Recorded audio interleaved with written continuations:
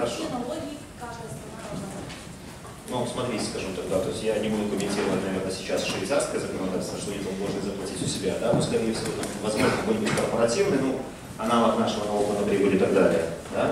Если мы говорим о том, что я э, получаю этот кредит или займ, у меня возникают долговые обязательства, то здесь НДС никакого нет, да деньги сами по себе или приобретение денег или привлечение объекта не влечет, у вас возникает только налог на доходы иностранных организаций. Да? По 146 статье Налогового кодекса Республики Беларусь проценты по долговым обязательствам, ну, кредитам, займам не имеет значения, скажем так. Да? То есть у нас является объектом налогообложения налогом на доходы иностранных организаций. Единственное, что вы можете выбрать э, в рамках действующей структуры НК, как бы дату, когда вы этот налог платите. Да? 148 статья по пункту 2.1 вы самостоятельно определяете, либо это будет дата начисления процентов, либо дата выплаты процентов. И это решение ваше. Но оно А должно быть... может быть в конце. Да, что? Выплата может быть в конце. А это уже как договоритесь. Ну, то есть э, если мы говорим там, про бухгалтерский учет там, налоговый там, для исполнения ваших налоговых обязательств, начислять проценты, ну, то есть генерировать наращивание, ну, наращивание задолженности вы будете каждый месяц, ежемесячно начислять, но налог на доходы, получается, у вас будет возникать в зависимости от того, какую дату вы выбрали. Да? Ну, если мы говорим про То есть мы нет, сам, сам, сам займ, сам займ нет. Смотрите, если мы говорим, что у вас просто, ну, если мы смоделировали ситуацию, что это просто займ беспроцентный, хотя с нерезом такое не пройдет, потому что приравнивается к иностранной безвозмездной помощи, в рамках этого декрета, поэтому будет 0,01%, но вы все равно ведете, да, объектом налогообложения у нас является только процент. Так, а, Такой вопрос по поводу УСМ плюс НДС при продаже в Беларуси, ведь, например, Apple и Google сейчас НДС удерживают. Вот э, нужно ли его платить еще самому ИПшнику или нет? Э, Про какие кон- конкретно Ну, услуги вы говорите и, вот и- и про какое, и, про, и про какое удержание? При, при э, вот продаже приложений через App Store и Google Play, ну, не очень давно, как и у Google и Apple, сообщали, что они ндс в Беларуси начинают удерживать. Платить. Что они платят НДС. Секундочку, давайте разберемся, что такое НДС. Да? НДС это налог, скажем так, да, то есть который уплачивается за счет покупателя, но который платит продавец. Да? Поэтому, как говорят в Израиле, мы покупаем или продаем. Да?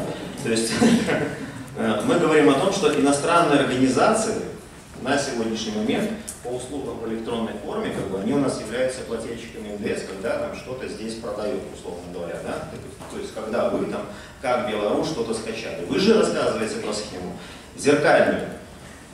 Правильно я вас понимаю или нет? Когда вы что-то продали. То есть вы купили или продали? Ну, продают. Да, то есть обязанность налоговая нагрузка, скажем тогда, то есть у нас по исчислению НДС возлагается на продавца. То есть поэтому, как бы, если вы продаете что-то в пределах Беларуси, и ваша система налогообложения подразумевает уплату НДС, вы этот НДС будете платить. О каком удержании вы говорите?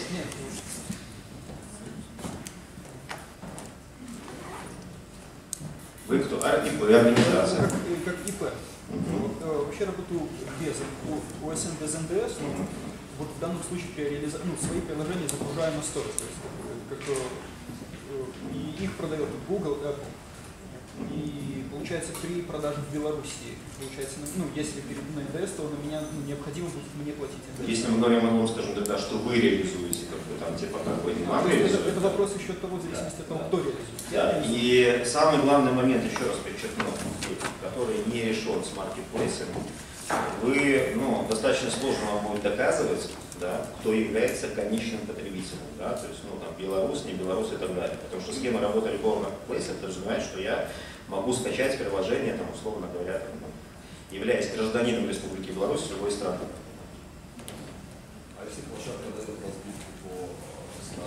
Если? Если, если, вы сможете доказать, если вы сможете это доказать, тогда да, то есть если вы сможете подтвердить. Но а, вопрос, скажем тогда, что на сегодняшний день, если мы не говорим о услуге в электронной форме для э, иностранных организаций, у нас не прописан механизм. Вот давайте поговорим, какую разбивку она даст, в разрезе чего? Банковских карт или чего?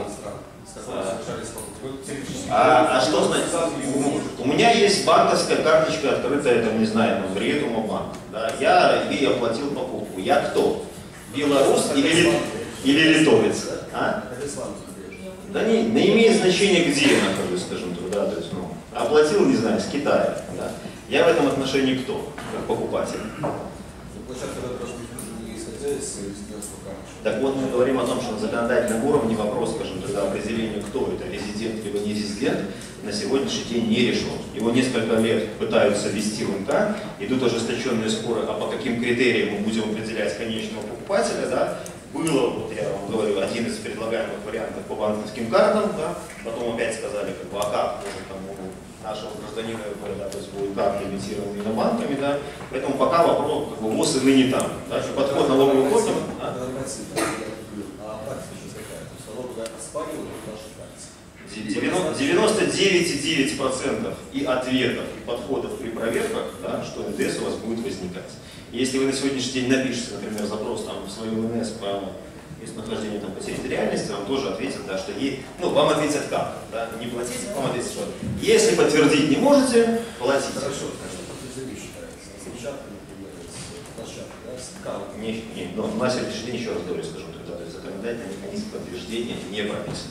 Поэтому если мы говорим про наши доблестные налоговые органы, то, э, то с достаточно большой вероятностью я могу сказать, скажем тогда, что ну, на вас возложат оплату НДС. Если мы говорим как, про какие-то прямые договора, не маркетплейсы, да, например, как бы, ну не знаю, там, вы владелец IP, у вас там паблишер там сидит, не знаю, в Британии, да, вы ему там через там, лицензию, а он уже сам, сам паблишер от своего имени, да. Вот здесь у вас прямой договор с нерезидентом, да, то есть, вот эта схема, когда у вас прямой договор лицензионный, да, юрик, юрик, да, то есть, ну, риск, риска не влечет.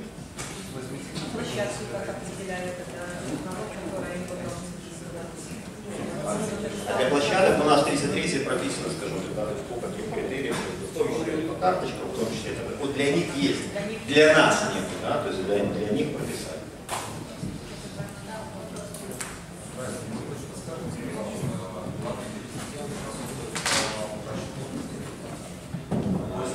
Ю- Юрлицу, да. работает э, с НДС. Э,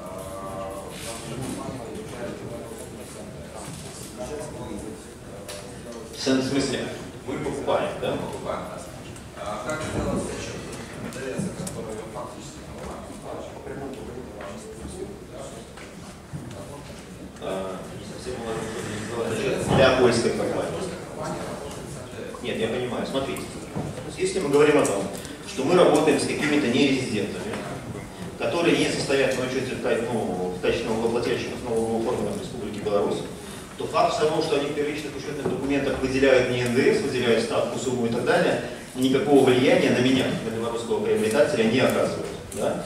Я могу принять к вычету НДС только в том случае, если он предъявлен белорусским налогоплательщиком. Например, ситуация, когда мы не выставили там 118 рублей, и ситуация, когда мы не выставили 118 рублей, в том числе НДС по ставке 18-18, для меня это одинаковые ситуации, если это не резидент. То есть для меня фактор вот этого выделения никакого как бы, значения не имеет. Поэтому для меня как бы, это обычная услуга, которая я смотрю стоимость да, то есть итого. Да. У Польши получается, ну, в зависимости от того, что на- нет, НДС по соглашению не будет работать. Мы говорим про а, корпоративный, мы говорим про налоги на доходы, налог на прибыль, там ряд недвижка. По НДС, по косвенным налогам, по соглашению вы никак не освободитесь. Да. Но опять-таки, да, опять-таки, да.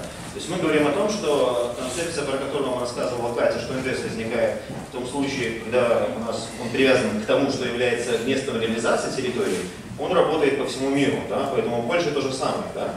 Если они там что-то продают и местом реализации этих услуг будет являться РБ, то у них просто НДС не будет возникать.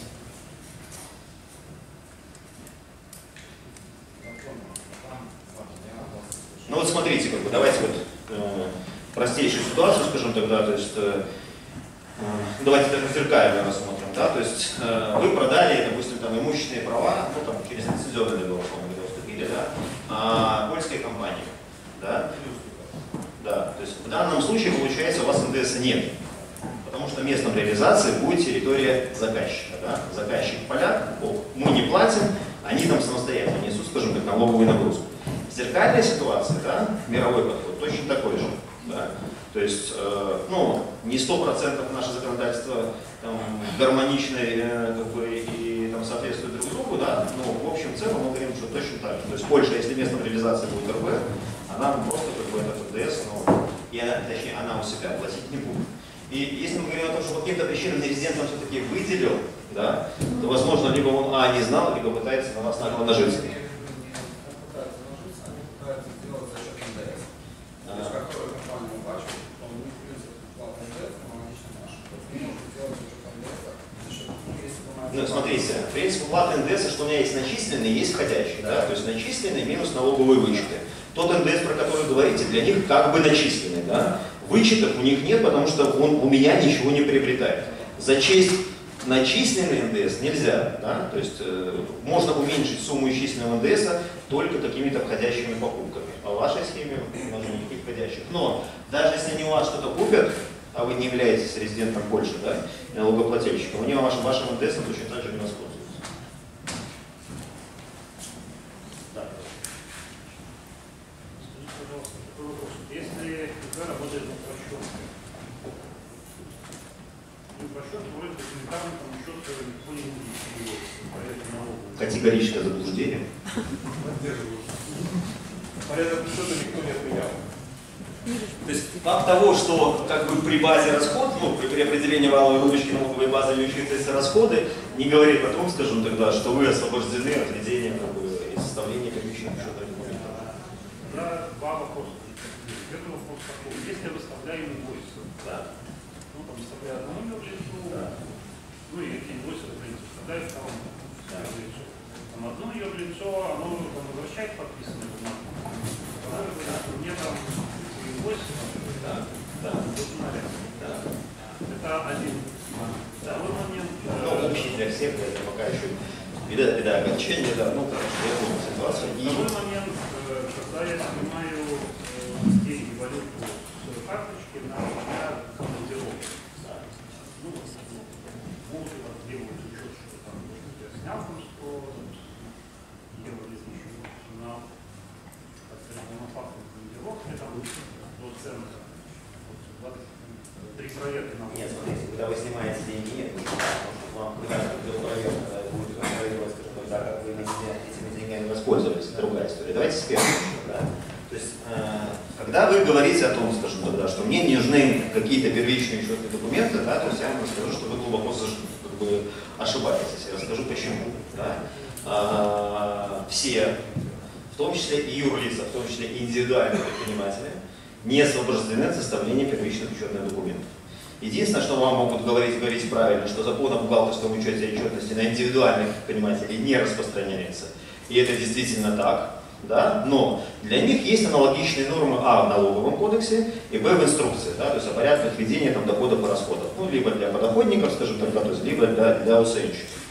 А, э, По факту, я вам скажу, да, вот на любом мероприятии всегда есть два самых популярных вопроса. Два. Да? Первый, где это написано, и второй, что мне за это будет. Да? Так, так вот, давайте со второго, смотрите. А, пока у нас еще действует такой, скажем тогда, документ, с которым нам, дай бог, не пересекаться, 488 указ, да, который на сегодняшний день любому контролирующему органу признает, позволяет признать ваши первичные счетные документы, например, не имеющие юридической силы. Да. Или если у вас их вообще нет, то ваша выручка, которая пришла, да, будет для вас дополнительно налогооблагаться. Давайте я вам расскажу математику. Да. Например, как бы, да, то есть вы э, не сделали никакие доку- документы, вам заплатили, условно говоря, там, не знаю, ну, давайте там 100 евро. Да? Вы применяете э, упрощенную систему налогообложения без уплаты с НДС, вы с этих, ну давайте это в рамках дедоларизации, 100 рублей, да? Э, вы с этих 100 рублей заплатили, получается, 5 рублей налога при упрощенной системе налогообложения. Когда у вас не будет первички, и вам скажут, что ваша сумма не подтверждается, да, то есть, ну, нет, непонятно, каким правом основанием она к вам пришла, вам эту сумму еще раз включат в состав реализационных доходов, и еще раз с нее вы заплатите э, налог при УСН по ставке 5%. То есть, грубо говоря, в этой схеме неведение первички обойдется для вас там 10% налога, скажем, плюс пеня. Штраф. Ну, плю- плюс пеня, плюс административка, я же говорю, со всеми вытекающими. Если мы говорим, что вы ИП на УСН, то это 16% подоходника, да, плюс 16% еще бы сверху, да, то есть если ваша сумма не будет подтверждена, плюс пеня, плюс привлечение к административной ответственности. Поэтому первичку вести надо. Э, Второй момент, скажем так, да, то есть что касается инвойсов. Здесь есть две новости. Одна хорошая, вторая плохая. Плохая заключается в том, скажем тогда, что инвойс на сегодняшний день, с точки зрения нашего белорусского законодательства, не соответствует требованиям, которые предъявляются к первичным учетным документам. Не соответствует. Да? То есть поэтому всегда теоретически можно сказать, что это не первичка. Но хорошая новость заключается в том, что согласно правоприменительной практике пока не трогает никого, потому что они все понимают, что если тройка, ну это касается не только этих, это касается всех остальных, да, то есть вот, там, транспортников, телевизионщиков и так далее, да, то есть если скажи, что это не документ, рухнет вся валютная составляющая, да, ну, то есть э, деятельность просто как бы заблокируется, да, поэтому все понимают, что нет, инвойс не, не первичный учетный документ, но практика работает, и с достаточно большой степенью вероятности могу сказать, что и будет работать, да, он Если- у нас есть перечень э, работ, услуг, скажем, по которым у нас возможно составление первичных документов в одностороннем порядке. С 2019 года он еще больше расширяется. У нас было принято очередное там, 58 постановление Минфина. Да? Если мы говорим, скажем, тогда, то есть, про какие-то там, не знаю, там, услуги, оказываемые там, через сеть интернет и так далее, через публичные договора, да, ну, там, мы не говорим уже там аренды, заправки и так далее, да, то да, да, есть определенный перечень случаев, когда первичка может составляться в одностороннем порядке. Ну и для резидентов ПВТ в схеме работы с нерезидентами 12 положении у нас тоже предусмотрено возможность составления первичных учетных документов в одностороннем порядке. Я же говорю, скажем тогда, что при снятии валюты у вас документы потом вы их принесите нам авансово или что-нибудь еще, да, то есть никто требовать не будет. Но когда придет проверка, да, то есть, ну, будет смотреть, как вы этой валютой воспользуетесь. догоняющий, да? Есть ли по внешнеэкономической деятельности ограничения по оказанию услуг на то или плане или по Что вы, что вы имеете в виду под ограничением? Правовыми, налоговыми, бухгалтерскими? например, да? То есть есть договор, одним ребятам позвонил, слушай, 5000 евро ограничения, другие говорят, и по сумме по услугам у нас сейчас нет ограничений. То есть я инвойсы выставляю, они оплачивают. и всё. А, Если вы готовы оказать кому-то услугу, ее кто-то будет го- готов купить, там, не знаю, за 10 миллионов долларов, да, то да, пожалуйста. Да, то есть, ну, э, единственное, что, от чего зависит сумма, сумма зависит, скажем так, да, то есть она завязана на нашу налоговую нагрузку. Да? То есть мы уже говорили, да, например, что начиная зарабатывать, ну, допустим, для сферы IT, как бы там 100 тысяч, это на самом деле, ну, не такая большая сумма, да, вы это, оптимистично. Я же работаю на белорусский, на российский рынок. Поэтому... Пора, пора, выходить из жопы, да, ну, потому что белорусский рынок на самом деле очень маленький по емкости, да, то есть вот в плане генерирования, да, то есть лучше выйти как бы на мировой и продать себе там за полдоллара и за доллар, как бы, да, то есть вы заработаете в разы больше, да, ну, ладно, хорошо, у каждого там своя история, да, значит, от величины суммы просто будет зависеть э, то, какие налоги вы будете платить. Да? Например, продавая там дорого, да, вы не сможете применять УСР. Продавая очень-очень-очень дорого, там может потенциально возникать НДС даже, даже при подоходнике. Да? Ну, с 2019 года у нас по проекту МК, я вам говорил, что индивидуальный предприниматель в рамках 2018 года становится плательщиком подоходного, вернее, налога на добавленную стоимость подоходник, когда у него выручка за любые три последовательных месяца, не за квартал, а за три последовательных. Январь, февраль, март. Февраль, март, апрель. Март, апрель, май. По курсу на последнее число превышает 40 тысяч евро. Как только вы этот предел превысили, да, сразу будете платить НДС, если этот НДС будет возникать в следствие реализации. С 2019 года по проекту МК этот предел подняли до 460 тысяч в год. Ну, то есть там уже нет квартальной разбивки, да, то есть как только вы превысили 460, перескакивается на НДС, но опять-таки это пока, пока проект. Вот такой. Не могу не спросить. Может быть, из практики знаете. Сегодня вот мы не можем вам перечислить деньги, потому что у вас заблокировано международное. Да. Есть, у нас есть, да. Ну, бы не, не только Беларусьбанк, на самом деле, как бы, да, то есть мы, у нас есть там две категории стран, у которых у одних мы в сером списке, у вторых в черном, да, то есть там действительно, Причем Я не- это все страны мира. ну не все, есть, есть и белый список, да. И на самом деле, да, то есть у вас могут возникать проблемы с платежами, как бы, да, то есть или, или вы будете либо иногда долго ждать, иногда платежи, не знаю, по полтора-два месяца, да, то есть Мы пока вся эта проверка, да. Либо вы будете, ну я не буду сейчас рассказывать, да, э, переструктурировать схему финансирования. То есть, скажите, пустится, да, по другому направлению, да. Да, спрашивайте. А, по акту, где судом проплата подписывается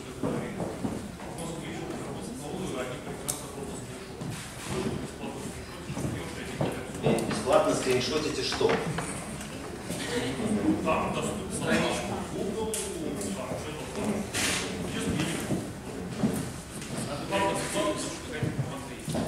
Там, нет, смотрите, э, у нас где-то было, да, клик?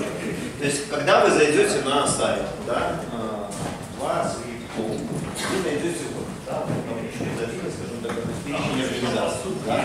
У нас в инструкции о порядке подтверждения налогового резидента сама по себе табличка, таким подтверждающим документом, что там организация есть, да, то есть, ну, не является, да, является, скажем так, да, то есть у нас раскрытие самого. Ну, если ваша налоговая инспекция, давайте так, да, исходя из, там, не знаю, там, своих э, добрых отношений к вам, или логических побуждений и так далее, скажем, когда вам подтверждает, да, она вам должна подтвердить декларацию, вы будете все равно сдавать всегда, да, пустую, с налогом и так далее, да, вот, кстати, наверное, тоже хотел сказать, что даже если у вас есть возможность применения освобождения от налога на доходы полного, декларацию по налогу на доходы в налоговые органы вы все равно будете нести. Да? Пустую, не пустую, все равно вы несете. Да? Если дает, пусть дает, но в один прекрасный момент, скажем так, да, ну, налоговые тоже проверяют, настоящие налоговые.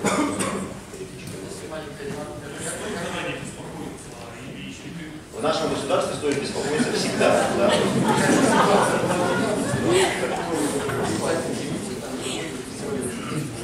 Да, да, да, да. Я рад Завтра нормально.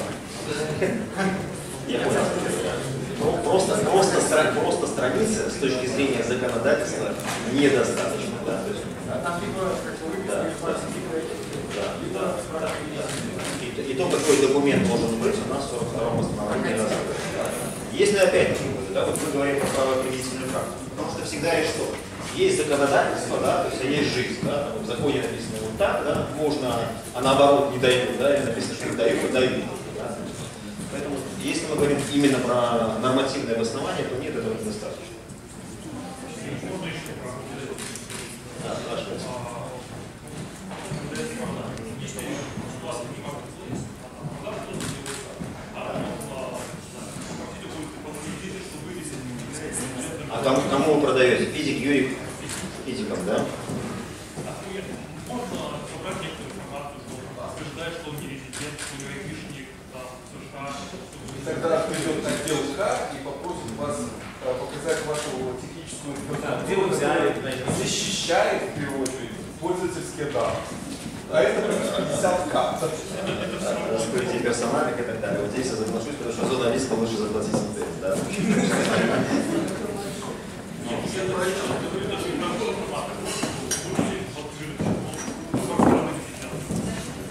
И защита персональных данных у вас реализована, да, в рамках нашего законодательства. Но э, э, давайте я расскажу связанную с IT, э, но чтобы вы понимали, о чем я говорю. Да? Вот как бы э, одна из организаций, или один из собственных организаций перед проведением проверки, да, ну там взял, взял и сжег документы. да. У нас в БРБ эта история, ну, как бы, с начислением налогов не работает, да, потому что наводнение, потопы, пожары и так далее. Да, то есть, ну, не говорят о том, что претензии не предъявят, у нас есть расчетный метод начисления налогов, да, то есть по движению по счету, да, по сопоставимым видам деятельности и так далее. Да. Но он произнес ключевую фразу, говорит, я это все прекрасно знаю, но зато не сяду. Да. Поэтому, когда вы выбираете, да, там, э, между налоговой нагрузкой, да, то есть и какими-то другими рисками, да, там, в том числе и общим там, сворачиванием вашей деятельности, да, фу-фу-фу, не дай бог, переходом куда-то в уголовно-правовую сферу, да, то проще, наверное, там, заплатить, заплатить налоги. Можно вопрос еще по утверждению налоговой спрашиваю. Если мы приобретаем услуги у резидента РФ и П, как мы ее рассматриваем? Подоходник. По доходу. Да, смотрите, э, даже вот две вещи скажу, да, вот смотрите, давайте рассмотрим. Вы приобретаете какую-нибудь рекламную услугу, а, ну, например, там, а у организации, ну, не знаю, Facebook, да, ну и у индивидуального предпринимателя, там, резидента Российской Федерации.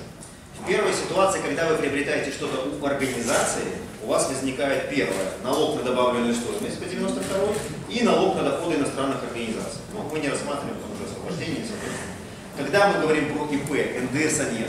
Потому что НДС возникает по 92 только тогда, когда вы приобретаете товары, работы, услуги имущественные права у организации. Поэтому в отношении ИП у нас остается только один налог. И это не налог на доходы. Налог на доходы тоже возникает юрлиц иностранных организаций по 146. Это подоходный налог.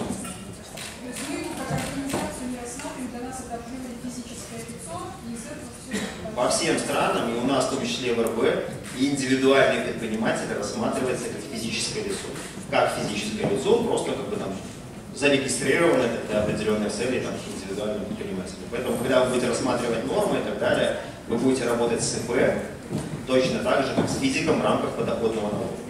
Ну если что, как бы, да, то есть для него, ну, по нашим индивидуальным предпринимателям ставка 16, если у нас будет возникать необходимость удержания, мы же по подоходному налогу делаем что? Мы исполняем обязанность налогового агента, что, что подразумевает, что я не, не сам плачу, а забираю у него эти деньги, если есть такая возможность. Да? Так вот, э, там ставка 13, хотя он будет ИП не везде. Да, спрашиваю. Скажите, пожалуйста, что такое налог на Google и кто его платит? Налог на, на Google, скажем тогда, у нас платят иностранные организации да, при оказании услуг в электронной форме, да, которые пришли сюда, вот мы уже говорили, да, здесь стали на учет, Минская городской налоговая инспекция, она их всех курирует, да, которые что-то продают в Республике Беларусь. Ну, давайте так примитивным языком скажу, да, вот вы белорус, да, что-то скачали, купили у Гугла, скажем тогда, там, условно говоря, какое-то приложение, да.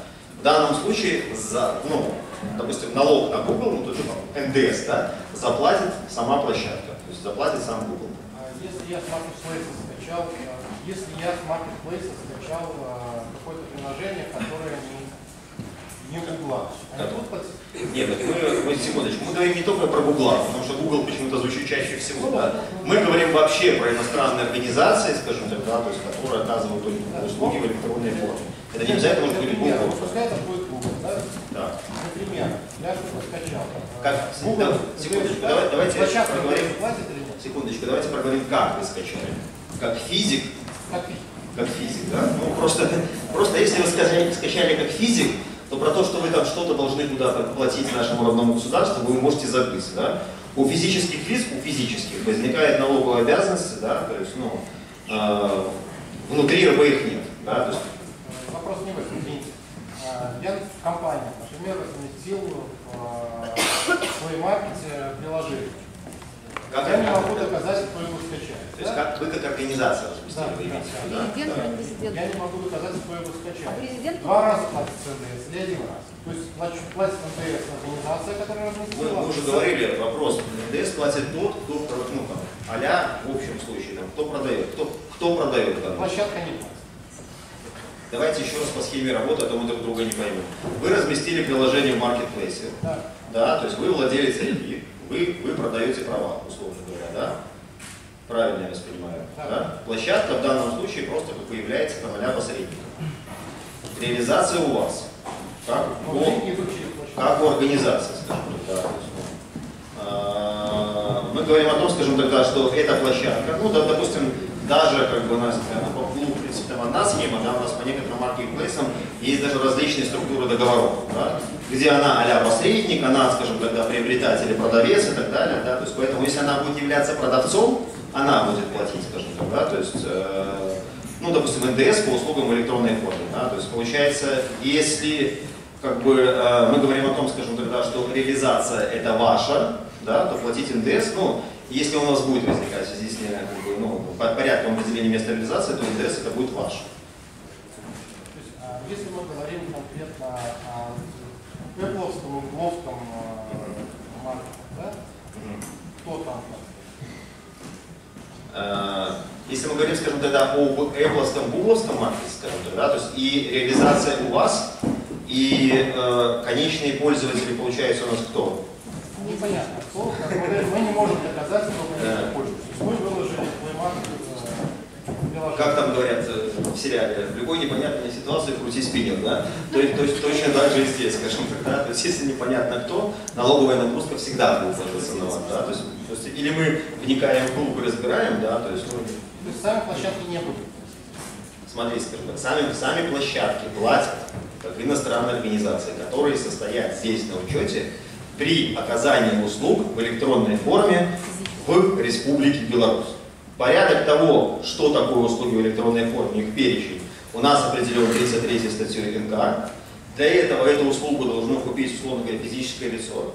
И как определить, что ее купило физическое лицо, да, по данным там, карт и так далее, скажем, тогда у нас тоже прописано в налоговом кодексе. Поэтому мы говорим о том, что в иностранной организации может возникать необходимость уплаты НДС, ставшей налоговой, да, по услугам электронной формы.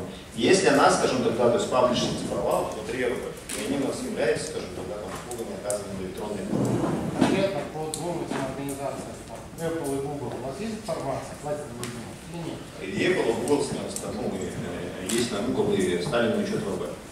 То есть они, они платят НДС по приложению выложенному рекламу. Нет, смотрите, скажем, нет, Google, Google, Google тоже же у нас стоит на учете, скажем то Да, но они не держат не платят. Они не свои И разные налоги.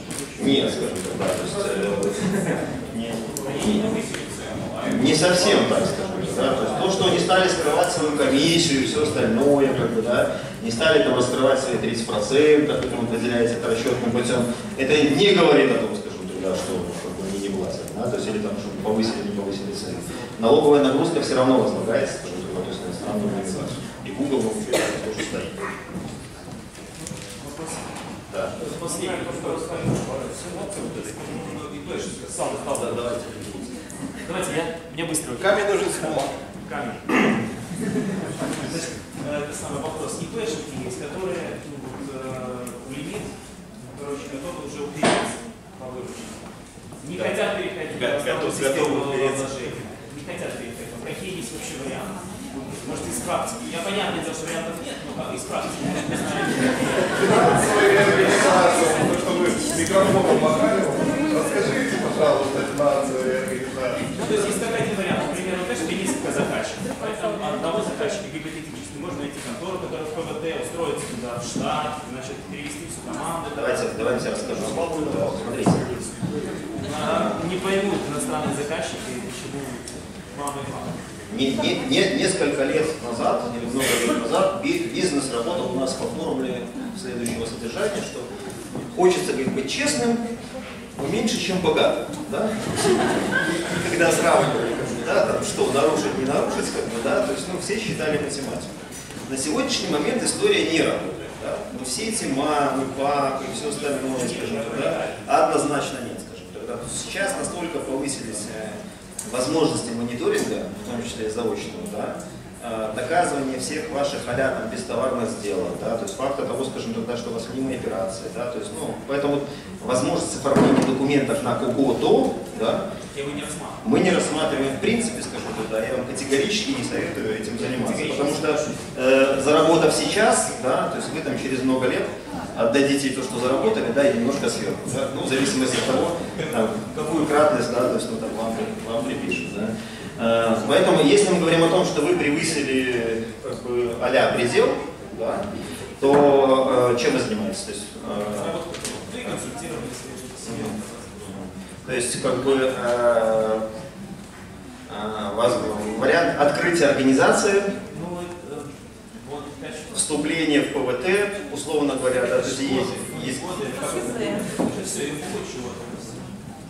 Так, сек- секундочку, да? То есть, есть, есть пословица про рыбу, я не буду говорить. Да, то есть, ну, или или, да, то есть вы ну,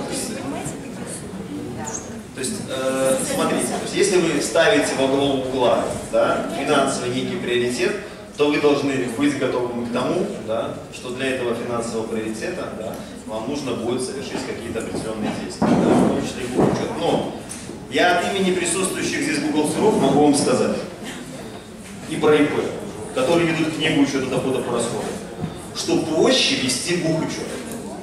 Гораздо проще вес- вести бухгалтерство. Ну, смотрите, если мы говорим о том, что вы будете ИП, то ФСЗ у вас, скажем, тогда будет минимальный. То есть, если у вас не будет основного места работы, вы будете его платить по формуле 35% от, скажем тогда, от- ну не от базовой, скажем тогда, средней ЗП,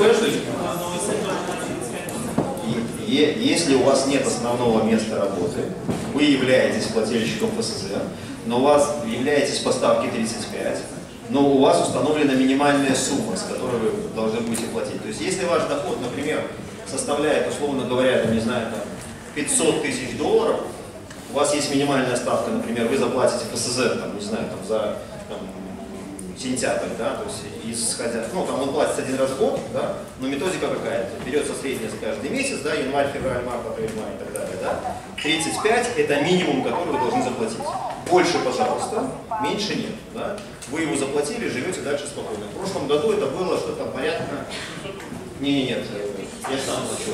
Тысяча, тысяча там что, сто, за, за, за, за, за год. Ну, условно говоря, 600 долларов. Для вас обойдется нет, а если мы говорим про организацию, то в отношении наемных лиц, да, вы будете платить взносы в фонд социальной защиты населения. Да. Ну, смотрите, тут, тут или, тут или, или, да. Все, все вот эти э, прямые попытки, которые вам советуют, да, давайте соберем кучу ИПшников, будем там где-нибудь в офисе работать или еще что-нибудь, да, то есть или мамы, папы, или что, или, ну, и она и аналогичные схемы уже не работают, да, то есть и категорически, да, то есть им заниматься не рекомендуется. Поэтому либо вы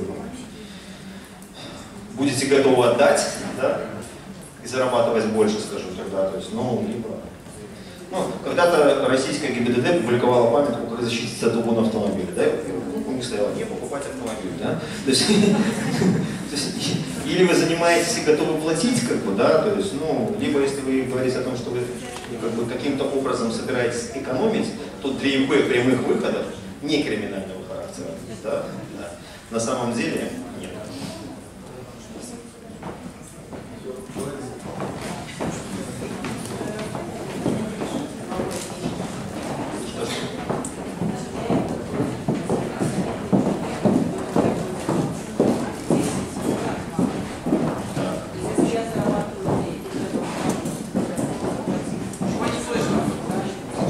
Значит, э, я озвучу вопрос девушки, она говорит, скажем тогда, а что будет, если моя мама станет программистом? Да? Нет, я говорю наоборот, что сейчас это другой уровень. Вот я Короче, ИПшников никто не любит, главное быть крупной организацией, тогда тебя все верят. Нет, ну, как сказать, вы в определенный момент тоже дорастаете до определенного уровня и как индивидуальный предприниматель, да, то есть сказать о том, что кто-то там, да, не любит ИПшников, да, то есть, ну, это, это не всегда, ну, Даже э, из личного если я вам скажу, что Виктор Прокопенин тоже ИПшник, да, то есть вы же не будете к нему относиться негативно, да? Понятно. Скорее всего, там какая-то будет, не знаю, там доля, ну, если не уважения, да, то понимание того, что это нормальный парень, да, то есть, Вот Александр Ильич с банками, с этим банком, с другим, вот смотрят на тебя. Ну, здесь нет, нет. А кто Согласен. Здесь, здесь, здесь в этом отношении соглашусь, как бы, да, но на самом деле все, все очень индивидуально. Да? Все очень индивидуально, да. И индивидуальные предприниматели, скажем да, и в плане подхода, и в плане репутации, и в плане всего остального, и теми компаниями, с кем они работают, скажем так, да, тоже абсолютно мер между ними и отношения разных организаций КП, как бы, да, то есть тоже разные. На сегодняшний момент, скажем тогда, ну, в том числе в сфере я не считаю, да, что если там кто-то ИП, да, то это какой-то супер принижающий негативный фактор. Да, то есть, и, и если он нашел, скажем, то допустим, он. Вы где-то для определенной части народа да, часть, а, Ну, на самом деле, я могу сказать, что вас обрадовать, да, вот чем у нас выгодно отличается IT-бизнес, да, то есть от всего остального, например, от реального сектора, где приходят в зал ребята с хмурыми лицами, да,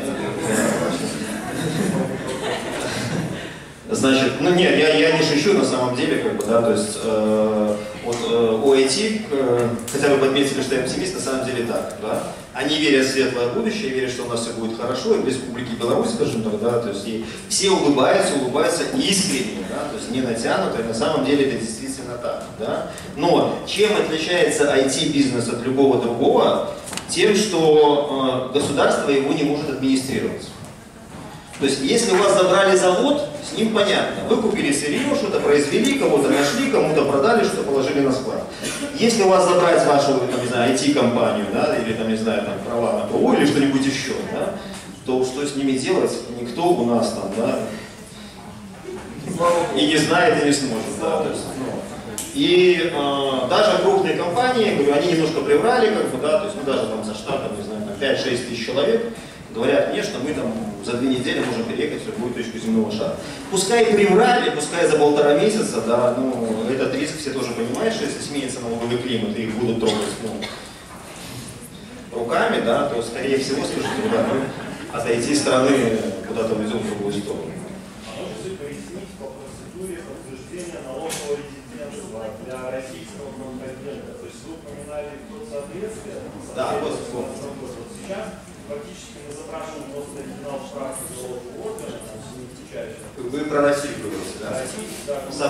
2016 года можно уже как бы бумажку не запрашивать.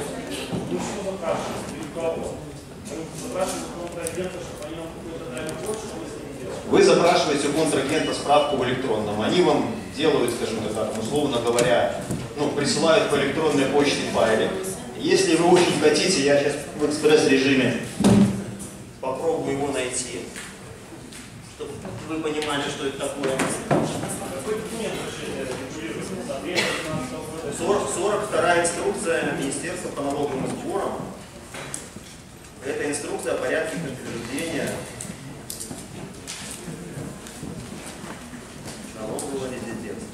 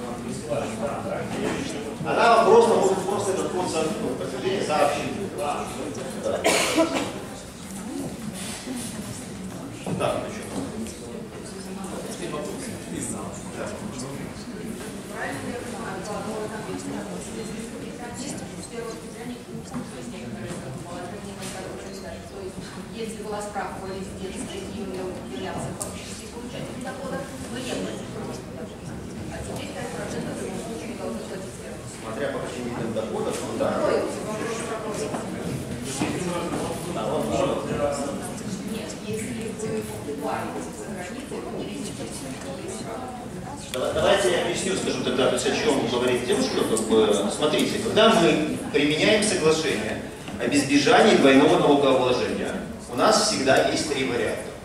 Первый. Вы получили справку о налоговом резидентстве и доход полностью освобождается. Справка о налоговом резидентстве дает возможность применения пониженной ставки.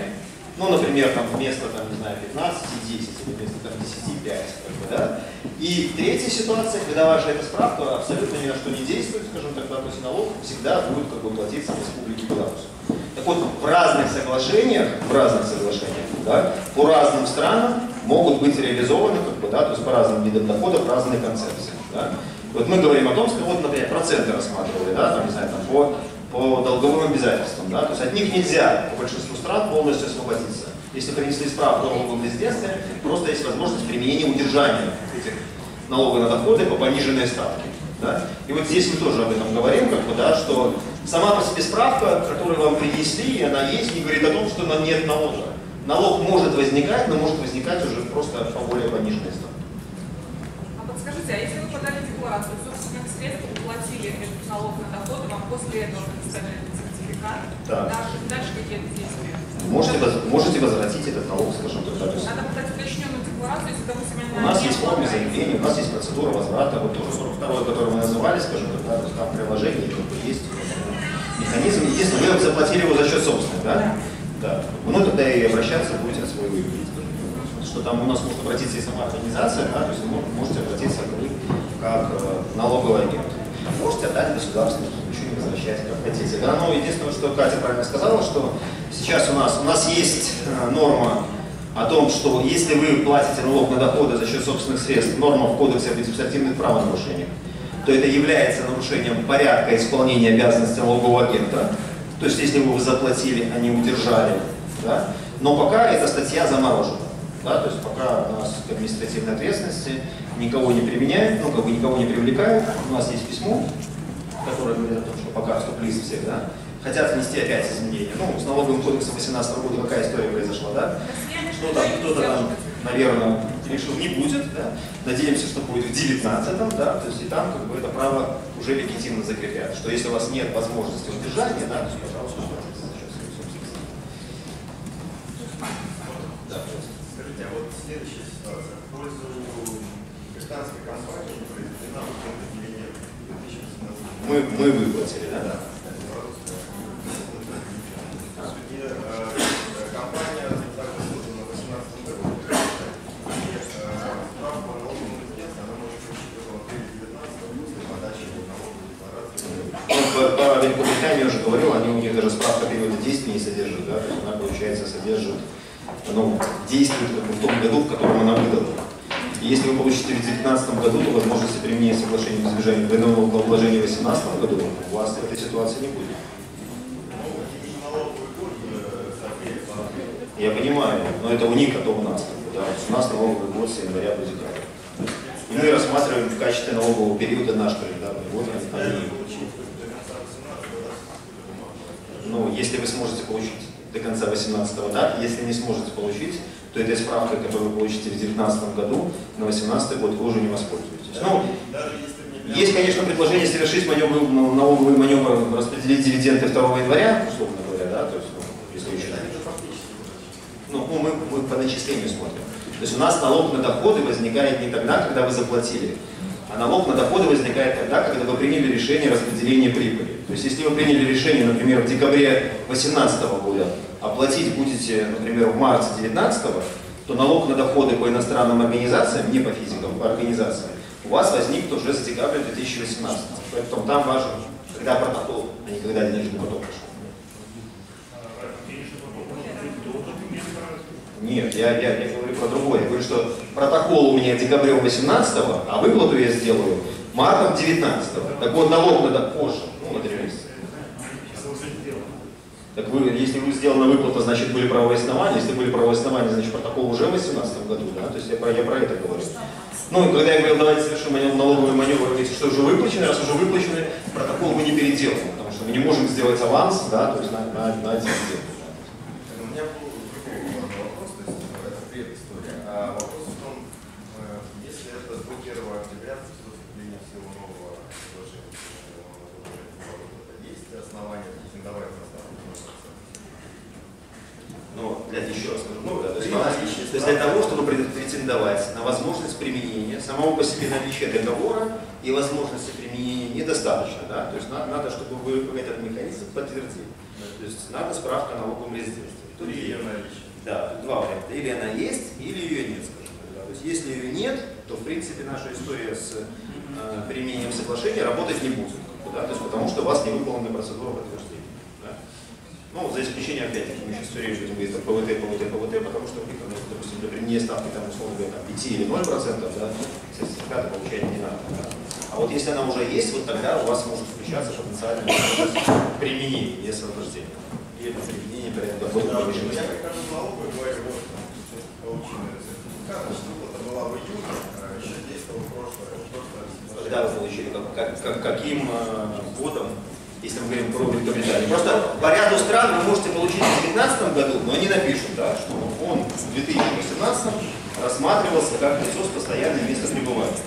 По Великобритании, конкретно по Великобритании, такой возможности нет, потому что у них справка дается год в год. Да? То есть она содержит не период, а дату. Да? Если она будет выдана в 19 она будет действовать в 19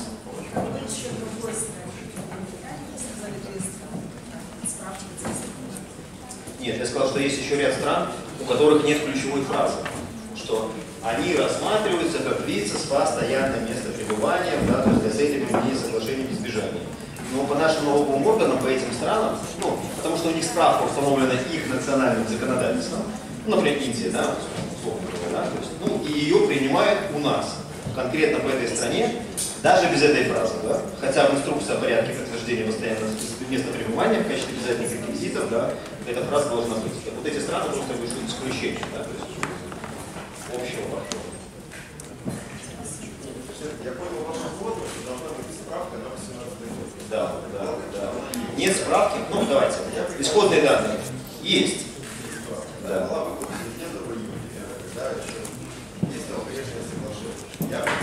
Смотрите, мы говорим, давайте еще раз, мы говорим не про выплату, про начисление. То есть начислили в июне. Хорошо, начислили в июне, выплатили в июне. Да. Налог на доходы когда, наверное, потому что справки не было.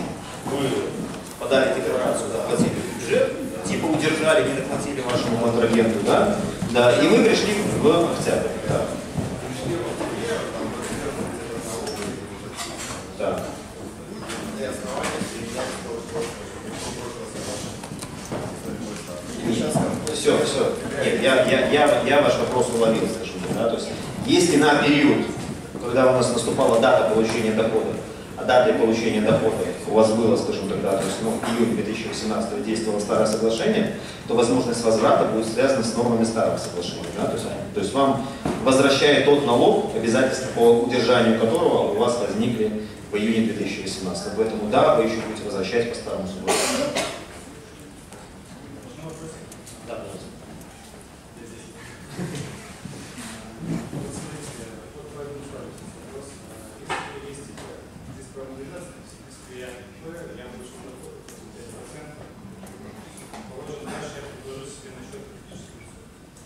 Да- Дальше вы переводите что?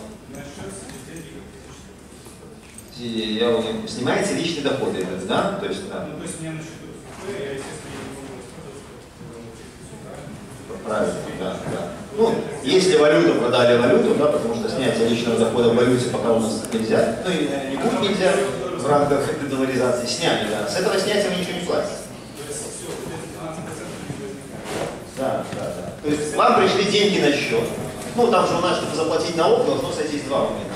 И деньги, и услуга должна быть, например, указана, да? То есть, потому что сама по себе предоплата, да? Вот некоторые платят с оборота по счету, это не всегда да, потому что надо состыковать, да? Значит, э, если вы снимаете уже, как физическое лицо, себе личный доход, то вот с, со снятия с личного дохода никаких налогов у вас уже не возникает дополнительно. Если бы вы были юрлицом, то при распределении дивидендов у вас бы возникал подоходный налог если ИП, сняли, положили в карман и пошли тратить. Все. Без дополнительного.